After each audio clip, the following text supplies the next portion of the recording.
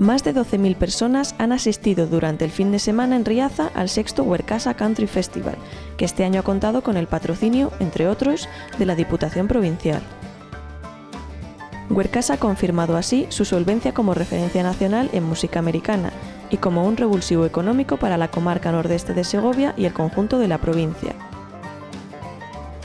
El paso de destacadas referencias nacionales y americanas del country por las tardes por el campo de fútbol de Riaza se ha visto bien secundadas por las actuaciones programadas por las mañanas en la Plaza Mayor de la Villa.